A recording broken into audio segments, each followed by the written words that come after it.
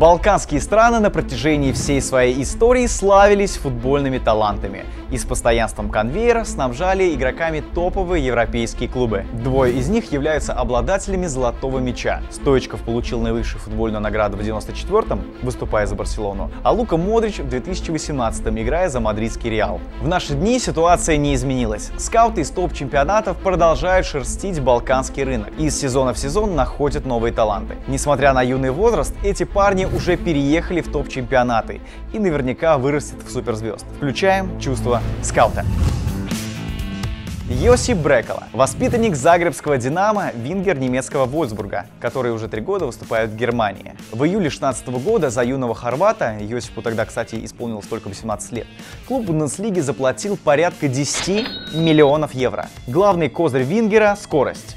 В юности Йосип считался едва ли не самым перспективным атлетом в беге на дистанции 800 метров. Он стал бы выдающимся бегуном, если бы остался в легкой атлетике, рассказывал его бывший тренер Славка Петрович. Но в итоге Брекола выбрал футбол и теперь с визуальной легкостью способен уйти от оппонента как на коротком участке поля, так и на длинной дистанции. Йосип правша, но чаще всего действует на левом фланге атаки. Поэтому, получая мяч, он часто смещается в центр, чтобы в итоге нанести удар или выполнить обостряющую передачу. Особенно эффективно Йосип осуществляет такие смещения, оказываясь в ситуациях один в один. Он резкий, быстрый отлично обращается с мячом. Поэтому в Вольсбурге Брекл чаще всего идет в обыгрыш и обладает самым высоким процентом успешных обводок. Совершая обыгрыш в центральной зоне, Хорват при этом способен на дриблинге ворваться и в штрафную соперника. Его резкие развороты и качественные перемещения между линиями дают Брекола большое преимущество в финальной третьей атаке. Йосип эффективен в узких пространствах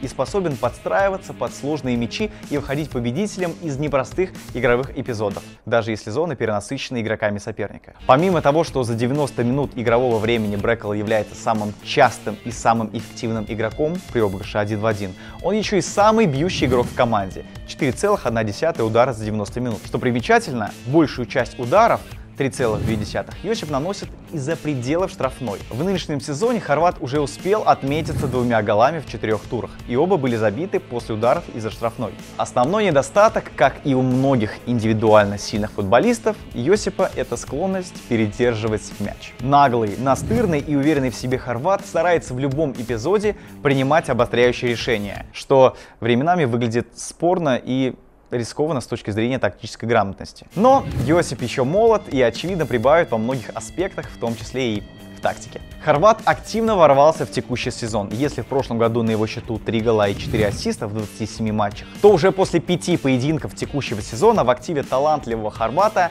5 результативных действий, 3 гола и 2 голевые передачи. В ноябре 2018 года Йосип дебютировал в составе национальной сборной Хорватии, выйдя на замену в матче Лиги наций против Испании. И на данный момент имеет в своем активе уже 8 матчей в составе сборной. Бавария, Арсенал, Интер, Парусия в свое время не решились вложить в покупку игрока столько же денег, сколько инвестировал Вольсбург. Так что потом придется переплачивать. Вундеркинд номер два. Никола Миленкович. Рослый сербский центральный защитник, воспитанник белградского партизана. С июля 2017 года выступает в Фиорентине. За защитника ростом 195 сантиметров итальянцы в свое время выложили чуть больше 5 миллионов евро. До переезда в Италию серб провел 44 матча за партизан, отметился четырьмя голами и одним голевым пасом, а также стал чемпионом Сербии, двухкратным обладателем Кубка Сербии, а главное, вошел в список 30 лучших молодых игроков мира по версии Ля Казе Делла Спорт. Фанаты партизана назвали защитника «Черная скала» или просто Блэки. И, кажется, это прозвище не требует объяснений. Никола, кстати, красиво попрощался с фанатами родной команды. Перед отъездом в Фиорентину в финальном матче Кубка Сербии против ненавистной Цервены Звезды Милинкович забил единственный гол. Партизан Цверна 1-0. Примечательно, что в новом клубе защитника поначалу ставили на фланг. В схеме 4-3-3 Никола действовал с правого края защиты, несмотря на гигантский рост и то, что серб никогда до этого вообще не играл на этой позиции. По итогам сезона 17-18 и в результате травмы игрока Шальки 04 Матия Настасича, Миленкович, который изначально даже не был включен в список 23 игроков сборной Сербии на чемпионат мира 2018 года и не играл до этого в отборочных матчах, получил просто невероятный шанс заявить о себе еще громче в составе сборной Сербии, что он, собственно, и сделал, став одним из лучших игроков сборной на турнире, что коуч сербов отметил отдельно. Никола серьезно относится к каждой тренировке. Он стабилен, я вижу в нем нового Видича. В сезоне 18-19 Никола окончательно застолбил за собой статус важного игрока снова Фиорентины. 34 матча в чемпионате, все в старте и 3 гола. Что не менялось, это желание тренерского штаба задействовать серба справа в обороне. Правый защитник 23 матча, центральный защитник только 15 игр. Отсюда главный козырь футболиста – универсальность. Серб качественно действует на обеих позициях, что объясняется высоким игровым интеллектом. Защитник отлично читает игру и выбирает позицию. А грамотный тайминг отборов позволяет демонстрировать эффективную оборону один в один. Несмотря на свои антропометрические данные, серб не кажется медленным. Даже при высокой линии обороны Никола не позволяет сопернику уйти за спину, в том числе действуя на фланге. Миленкович производит впечатление игрока, который умело работает с мячом. Действует уверенно, с поднятой головой, способен замечать открывание партнеров в передней линии и выполнять качественные вертикальные передачи, отрезая по несколько соперников. Но иногда защитник чересчур осторожен в пасе, и это, наверное, главный на данный момент его недостаток. В начальном отрезке прошлого сезона, по итогам трех игровых месяцев, Никола входил в число защитников, наиболее часто выполняющих передач назад.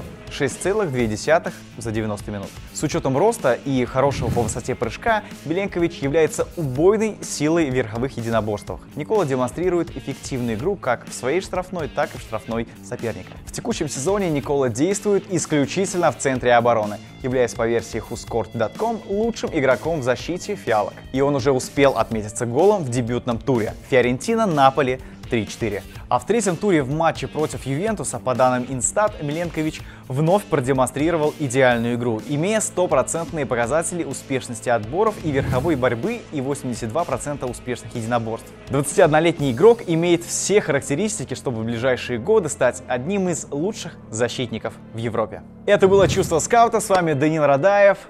Пока!